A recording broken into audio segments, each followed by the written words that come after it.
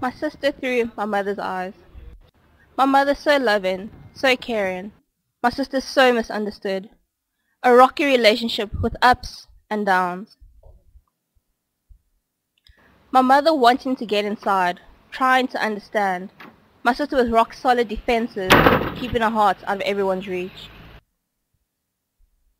Tiptoeing around each other so as not to cause a fight.